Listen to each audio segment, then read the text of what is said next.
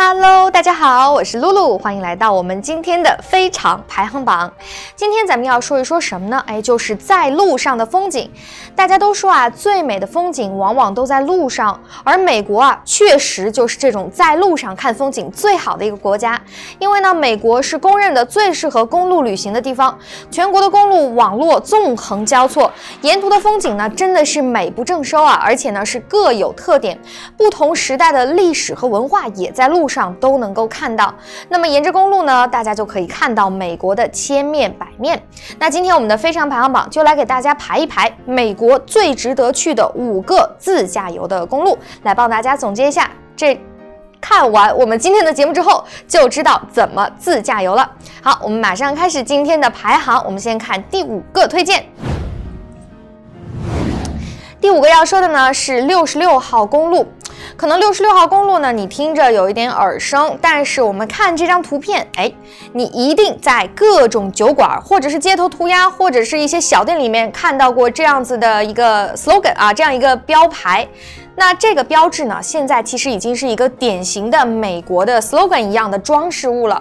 那这个就是六十六号公路的标志，可想而知它有多么的文明。真的，世界上啊，几乎没有任何一条公路能像六十六号公路这样，在全世界都取得了显赫的声名。比如说啊，这个美国大街啊，母亲之路啊，很多很多的头衔啊，都是在说这个六十六号公路。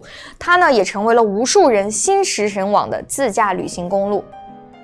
那这个这条公路呢，我们来说一说啊，它是始于芝加哥，终于洛杉矶，穿越八个州、三个时区，全长呢有三千九百四十公里。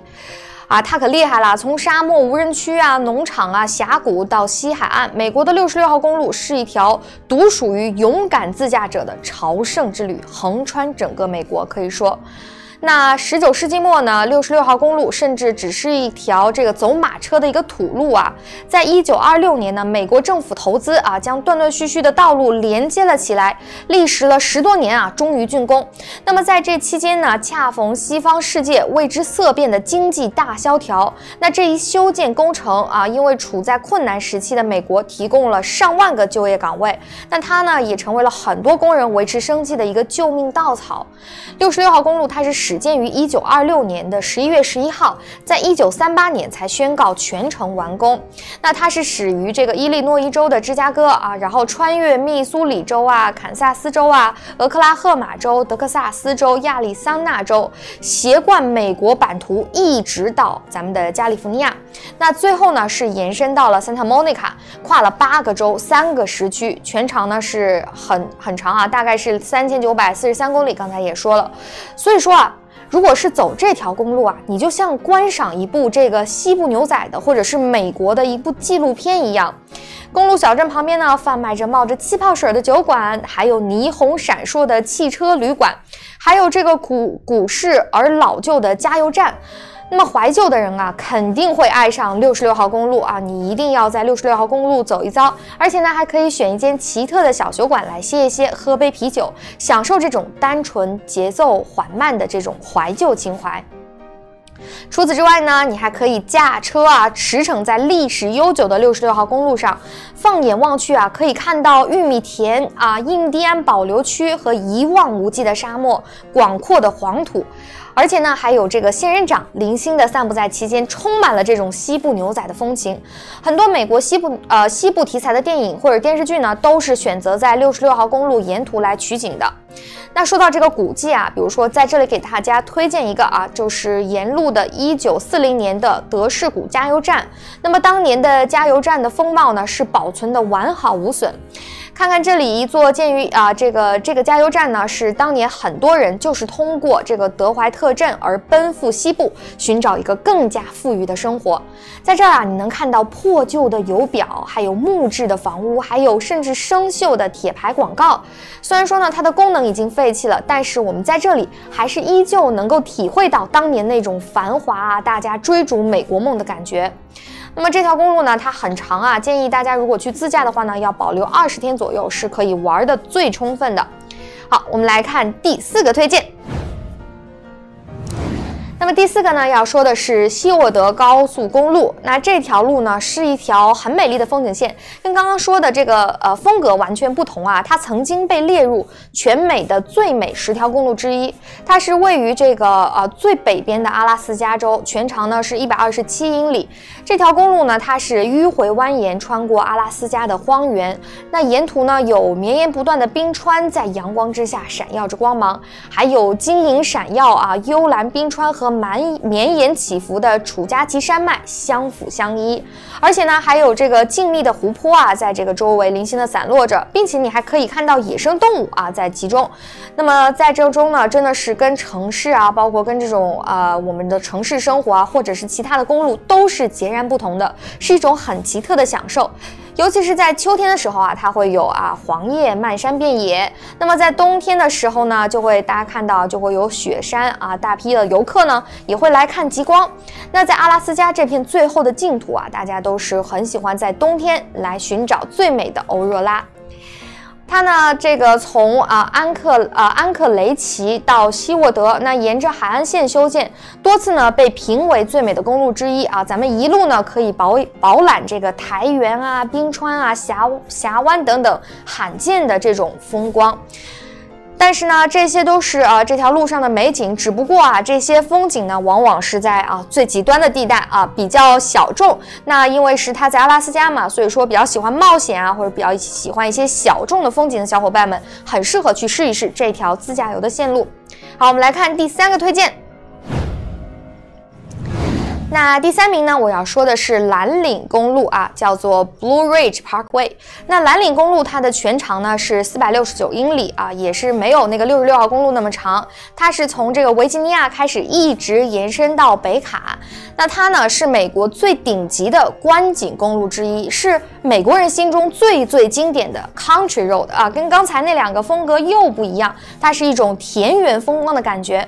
那它呢是啊这个向北连接到。了这个呃仙纳度国家公园，那么向南呢是连接大雾山国家公园。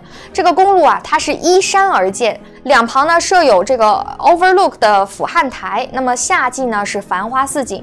我们看到现在呢是秋季的风光，那这个秋季啊就是红叶纷飞，并且这条公路上呢还经常有一些野生动物啊，比如说白尾鹿啊、野生火鸡等等，还有高山啊、瀑布啊、湖水啊，都是应有尽有。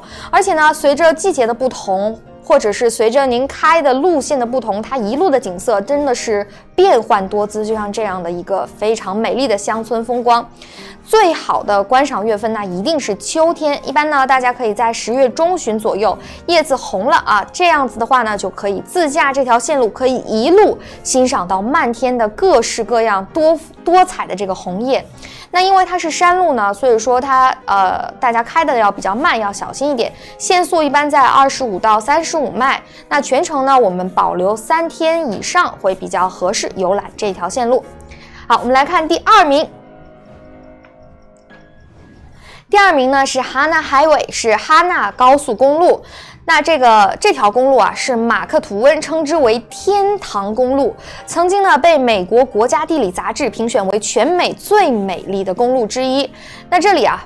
怎么说呢？是开敞篷公路旅行的这个绝佳地点啊！大家开着敞篷车，哎，沿着海岸线一路狂奔，非常适合大家去撩撩妹儿啊！这个哈纳公路呢，它的长度比较短，只有八十四公里，是从卡呼卢伊啊向东绕过毛伊岛北部众多的悬崖，啊，弯道很多啊，每一处弯道呢都是可以让你饱览壮阔蔚蓝的海景。那除此之外呢，还有瀑布，还有黑沙的海滩，也非常令人震撼。一边呢是蔚蓝的大海，一边是各种的热带植物啊，茂盛鲜艳。哈纳的迷人之处啊，在于蓝天、大海、高山啊，这个森林全部都集中在一起，真的非常广阔，非常非常的好看。那它是呃，大概有六百个弯道啊，那么到达终点的哈纳。那每一处弯道，就像刚刚说的，大家可以看海滩啊、瀑布啊，还有落叶乔木。沿途呢还有很多值得大家打卡的地方，比如说电影爱好者们啊，会愿意在这个伊甸园或者是植物园里面停一下，去看看啊这个侏罗纪公园的拍摄地。那继续往东呢，大约离开哈纳十六英里处呢，这个威路亚瀑布从八十英尺的高地奔流直下。那州立公园呢，也有宜人的海滩。那一处公路经过海上岩洞啊，每当小虾们聚集起来，这个海水呢就会面啊就会变成这个迷人的红色。所以说啊，真的可以说是不是一步一景，是一弯一景，非常适合大家去约会哦。这条公路真的非常美。好，我们来看第一名。那第一名呢？那肯定是当之无愧的一号公路了。鼎鼎大名的一号公路，自然不用多说，大家呢都已经耳熟能详了。那这个一号公路旅行啊，是北美最受欢迎的自驾路线，这个呢没有之一啊，没有之一。国家地理杂志呢将它评为一生必去的五十个地方之一。